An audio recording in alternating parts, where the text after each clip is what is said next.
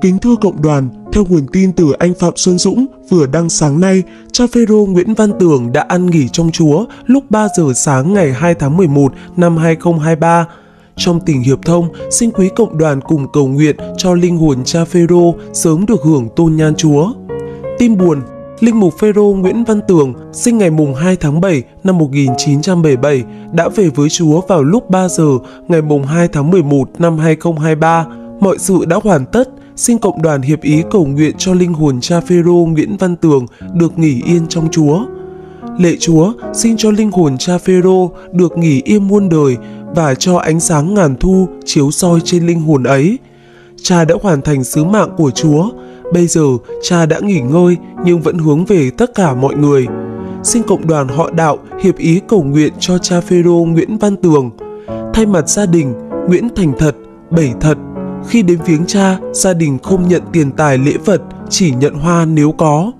Kính thưa cộng đoàn, anh Bảy là người thân của cha Tường.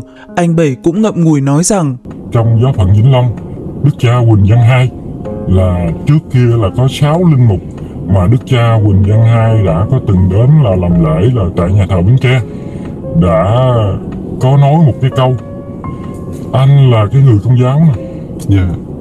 Mà cha Đức cha Quỳnh Văn Hai nói con sẽ nói cha Tường con sẽ về tòa giám mục. Hiện giờ con không có một cái thẩm quyền để con giải quyết cho cha Tường. Nhưng con trở về tòa giám mục con sẽ trả lời những cái lời nói của cha Tường. Dạ. nhưng mà không ngờ Chúa đây nghe anh nói cái này mới quan trọng. Chúa lại ban cho linh mục Quỳnh Văn Hai được làm đức mục đức giáo mục của giáo phận Vĩnh Long. Dạ. Nhưng mà không biết vì lý do nào đó mà sau đó bây giờ là 2014 đến giờ là 9 năm rồi. Sau rồi sau khi một năm mà đức cha Dạ. lên nắm đức cha giáo giáo phận Vĩnh Long chính anh và cha Tường cầu mong hàng ngày. Nói với anh rất nước mắt cầu mong hàng ngày hàng đêm để cho em mình trở lại là dân thánh lễ. Cho dù có tội cỡ nào đi nữa, tụi tôi sẵn sàng xin lỗi. Nhưng mà không biết lý do nào đó đến giờ này. Thì có còn hơn không? Thí dụ như ngày cách nay là 24 tiếng hồi trước, anh cứ nghĩ là nếu không may tình huống xấu nhất, anh đi từ bên Mỹ, anh thẳng về Trà Vinh là nhà của anh. Là giờ đó anh sẽ coi cha tường nằm chỗ chỗ nào và cái hàng như thế nào thôi. Nhưng mà có ơn Chúa giờ này cha tường vẫn chưa tắt thở. Dạ. thì nói với tóm lại đó tụi tụi anh rất là thương các cha của đạo công giáo. Em không phải đạo công giáo tụi em không biết đâu. Dạ. nhưng mà tụi em tụi anh mong ngày mong đêm. Mong ngày mong đêm mà anh vừa qua anh cũng có nghe anh về đây anh có nghe là anh có một người ờ, anh em cô cậu ruột là cha cha thành ở bên thụy điển đó Dạ. ngài chịu chức năm 83 bên ờ, ờ, bên thụy điển nhưng ngài có điện với uh, tòa giám mục chính long thương lượng gì đó Dạ. Ờ, mà không biết như thế nào chắc có lẽ các cha cũng thương lượng để ừm, giải cái dạ tuyệt thông cho cha tường đi Dạ. thật ra theo anh nghĩ đó theo anh biết luôn và anh từng ở sau lưng cha tường cha tường chỉ có giảng về cây cỏ mang hạt giống để chi đó cũng một phần lời chúa trong đó mà cha tường muốn lấy cái đường đó để cứu tất cả những người bệnh ung thư Dạ. tại khi ung thư mà anh ăn những thực động vật luôn nữa Dạ. là anh bị axit không thể cứu được Dạ. từ cái chỗ đó nó đâm ra Dạ. nó đâm ra hiểu lầm hiểu lầm nó lớn quá Dạ. bây giờ thì thôi tóm lại chắc các ngài cũng có cái khó của các ngài mình biết có cái khó Dạ. Nhưng mà đến giờ này thì nếu thật sự cha tường đã được ờ, phải trả tiệc thông ờ, giải dạ tiệc thông đó thì ờ, ngày mai này nếu mà cha tường nếu không không may không qua khỏi thì gia đình của anh cũng ờ, cảm tạ ơn Chúa và cảm tạ các cha Ờ, tụi anh không bao giờ phiền nàn các cha giống như anh cha tường chưa bao giờ ghét một cha nào Dạ. và chưa bao giờ ừ, mà tụi anh làm nói cái gì vậy đâu? Thì anh cũng muốn đi con đường nào để cứu người thôi. À, thì anh chỉ có uh, mấy lời chứ nếu mà nói nữa thì thì anh cũng không muốn nói nhiều để mai này một vài tiếng hồi nữa hoặc là ngày mai này có thể là theo anh biết. Nếu mà không có ơn Chúa đó ha thì theo anh thấy không quá 24 tiếng hồi nữa là cha tường phải tắt thở. Đây là anh nói cái câu về y khoa về khoa học hiện nay và đặc biệt là trong đất nước Việt Nam và tại bệnh viện ở uh, S, SIS của tỉnh Cần Thơ thì anh thấy uh, giám đốc nói chuyện như hồi nãy rồi đã bó tay. Uh, nhưng mà mình vẫn còn ơn trên nghĩ phút chín tám. Câu chừng nó phá quầy mình không biết sao hết yeah. thôi anh cảm ơn em anh nói cũng hơi nhiều yeah. Kính thưa cộng đoàn, liên quan đến việc cha Phêrô Nguyễn Văn Tường bị vạ tuyệt thông và được giải vạ trong lúc nguy tử, người yêu mến ủng hộ cha Tường thì cho rằng cha Tường không có làm gì sai, ngược lại còn là một linh mục hết lòng lo cho sức khỏe của đàn chiên và hỏi tại sao giáo hội lại ra vạ tuyệt thông cho một người tốt lành, nhiệt tâm như vậy. Thậm chí có người còn viết rằng nhờ nghe cha tường giảng như vậy mà trở lại sống đạo sau bao năm bỏ lễ, bỏ nhà thờ. Để giải đáp thắc mắc đó, xin gửi đến cộng đoàn bài viết của tác giả Peter Chánh Trần, một cựu trùng sinh và hiện đang sống tại Mỹ. Mấy ngày nay, thấy tin linh mục Phêrô Nguyễn Văn Tường, gọi là cha Tường cho gọn, bị đột quỵ, đang trong tình trạng nguy cấp. Cha Tường một thời gây ồn ào dư luận ở giáo phận Vĩnh Long nói riêng và trong giáo hội công giáo Việt Nam nói chung bởi vì cha Tường đã giảng kinh thánh với nhiều điều sai trái với niềm tin của giáo hội công giáo nói rõ hơn là sai tín lý. Do đó, Ngài đã bị vạ tuyệt thông kể từ ngày 23 tháng 5 năm 2014. Tôi không lạ gì cha Tường vì tôi đã từng vào trang web của cha rất nhiều lần để đọc và nghe cha Tường giảng. Trang web có lẽ đã đóng từ lâu nên vài năm trở lại đây không vô được nữa. Tôi không muốn tắt nước theo mưa, nhất là khi ngài đang trong cơn nguy kịch, mà chỉ nhân cơ hội này viết một chút về việc đọc, hiểu và giải thích kinh thánh như thế nào mới phù hợp. Tôi cũng đã cầu nguyện cho ngài trong thánh lễ Chúa Nhật sáng nay, cho ngài mạnh hồn, khỏe xác và quay lại với Chúa, với giáo hội nếu ngài hồi phục. Có vô số người nói rằng cha tường giảng theo kinh thánh, trích từ kinh thánh, chưa có giảng ngoài kinh thánh đâu. Nhiều người lập luận như vậy để bênh vực ngài. Câu kinh thánh được ngài trích nằm trong sách sáng thế ký, chương 1, câu 29 như sau. Thiên Chúa phán, đây ta ban cho các ngươi mọi thứ cỏ mang hạt giống trên khắp mặt đất và mọi thứ cây có trái mang hạt giống để làm lương thực cho các ngươi.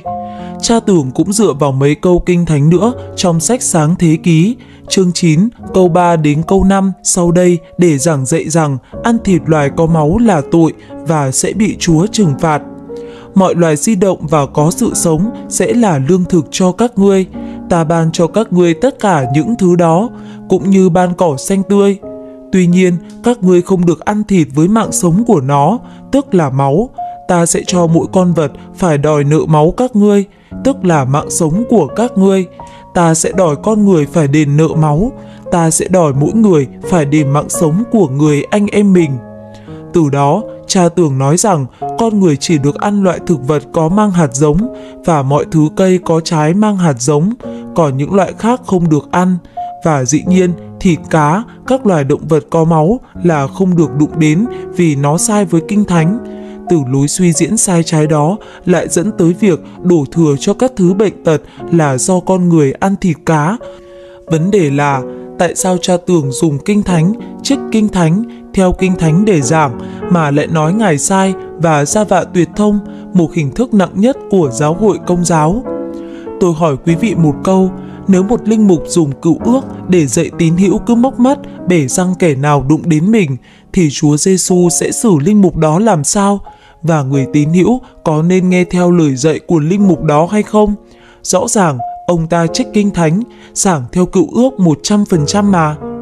Cách đây không lâu, có một tên thầy giáo mất dạy, đem câu này ra nhạo báng đạo công giáo, chửi luôn Chúa, kêu Chúa là thằng ngu. Vì người ta vả má bên phải không chịu thọi lại, còn đưa luôn má bên trái. Hắn ăn nói mất dạy, phạm thượng, khó ai có thể nhịn nổi. Quý vị còn nhớ không? Nó tên gì tôi quên rồi. Mà thôi, những kẻ vô thần trách chúng làm gì? Bọn vô thần căn cứ vào những lời dạy của Chúa ở đây mà kết luận tôn giáo là thuốc viện mê hoặc dân, làm cho con người mất hết nhuệ khí. Cách gì đi bắn, đi giết, đi xâm lăng, đi cướp của được, họ nói không sai. Chúa đời nào đi dạy con người làm chuyện ác, vậy mới được gọi là đạo. Nếu linh mục cũng căn cứ theo cựu ước, theo lề luật mô xê mà dạy giáo dân cướp cặp bồ thả giàn, miễn chưa đi qua đời nhau là chưa thành tội ngoại tình, hay có tờ giấy ly dị là ok, thì Chúa sẽ xử linh mục đó cách nào? Xã hội sẽ xử linh mục đó thế nào? Người giao giảng kinh thánh mà chỉ dựa vào cựu ước, tảng lờ lời dạy trực tiếp của Chúa Giêsu thì đúng là chống lại Chúa, là lạc đạo, phải bị vạ tuyệt thông. Trở lại chuyện cha tường, sau giảng chuyện chỉ ăn thực vật có hạt giống, tôi đố quý vị tìm được một chữ nào, câu nào do chính miệng Chúa Giêsu dạy người ta không được ăn thịt, nói rõ là thịt những con vật không có máu. Tôi cá với quý vị đó, cho dù đi tìm đỏ con mắt cũng không thấy đâu, vì Chúa có dạy hồi nào đâu mà thấy. Ngược lại, tôi chứng minh cho quý vị thấy Chúa Giêsu ăn thịt, ăn cá và với Ngài không có bất cứ con vật nào gọi là ô uế để bị cấm không được ăn như luật Mô-xê. Mô-xê cấm ăn thịt những con vật cho là ô uế như con heo, rắn rết, loài vật có vỏ. Chúa nói không có gì là ô uế hết, chỉ có những thứ thải ra từ cơ thể mới ô uế. Món ăn ưa thích của Chúa Giêsu là cá, cá có máu nghen. Đọc bốn quyển tin mừng, coi bao nhiêu lần Ngài ăn cá. Tôi nhắc sơ hai lần thôi. Lần thứ nhất là khi Ngài làm phép lạ hóa bánh và cá ra nhiều để nuôi 5.000 người trên núi sau bài giảng. Các môn đệ và dân đều ăn bánh và cá. Ngài ăn cái gì ngoài hai thứ đó? Vì các môn đệ đã báo cáo với Ngài chỉ có 5 cái bánh và vài ba con cá. Lần thứ hai, khi Ngài làm phép lạ cho các môn đệ thả lưới và hốt một mẻ cá nhiều muốn rách lưới, ở chỗ biển nước mênh mông, sau quả đâu mà ăn, không ăn cá với các học trò của mình thì ăn gì? Việc chủ trương ăn rau quả thay vì ăn thịt hoàn toàn không có gì sai trái. Ngày nay, phong trào bỏ thịt ăn rau rất phổ biến, thịnh hành, được quảng bá rầm rộ và những người theo con đường này thì cũng đông vô số. Nhưng cho rằng việc ăn rau, cấm thịt là lời Chúa và dĩ nhiên là lời Chúa thì phải tin và phải giữ thì mới được dỗi linh hồn. Ít nhiều gì, cách giảng dạy của cha tường ở ý này và người tín hữu hiểu ở ý tưởng này là sai hoàn toàn tín lý. Muốn được cứu rỗi, không phải là kiêng ăn thịt, kiêng ăn huyết, kiêng truyền máu, đây là lý do chính để bị vạ. Một thầy thuốc, bác sĩ chẳng hạn, có thể học trở thành linh mục được, có rất nhiều linh mục ở Mỹ và ngay cả ở Việt Nam có bằng bác sĩ. Khi đã thành linh mục, bổn phận chính của linh mục đó chủ yếu là chủ chăn, có bổn phận lo cho phần rỗi linh hồn của đàn chiên, chứ không phải là bổn phận của một bác sĩ lo chữa bệnh phần xác nữa. Một linh mục mà coi nhẹ việc chăm sóc phần hồn cho con chiên, lại quay sang lo chữa bệnh phần xác như một thầy thuốc là điều ngược ngạo, và giáo hội chẳng bao giờ đào tạo ơn gọi linh mục cho một mục đích như vậy. Cha tưởng lọt vào trường hợp này. Chớ trêu thay, kiến thức về thầy thuốc, về chữa bệnh của ngài có lẽ chỉ học lỏm, học online, chứ không qua một trường lớp đào tạo chuyên môn nào cả. Không vâng lời, không tròn trách nhiệm một chủ chăn như được đào tạo cũng là một lý do bị vạ, tuy không phải là lý do chính. Lướt Facebook, thấy có rất rất rất nhiều người tỏ ra thương mến, ủng hộ cha tường, thậm chí còn cho rằng cha tường không có làm gì sai. Ngược lại, còn là một linh mục hết lòng lo cho sức khỏe của đàn chiên và quay sang trách móc sau giáo hội lại ra vạ tuyệt thông cho một người tốt lành, nhiệt tâm như vậy. Thậm chí, có người còn viết rằng nhờ nghe cha tường giảng sai như vậy mà trở lại sống đạo sau bao năm bỏ lễ, bỏ nhà thờ. Đó là tác hại của việc giảng dạy sai lầm nên mang vạ. Nhiều người thương cha tường không có nghĩa là sai sẽ thành đúng. Đúng hay sai phải có cha tường giải thích kinh thánh có đúng ý Chúa hay không. Quý vị xem đi, các giáo phái ly khai khỏi giáo hội công giáo, lượng tín hữu của họ đông cỡ nào. Con số người theo rất đông, không có nghĩa là cái sai trở thành chúng đâu. Sai phạm không đáng trách, không phục thiện, không vâng lời bề trên và giáo luật của giáo hội mới đáng nói, mới bị vạ tuyệt thông.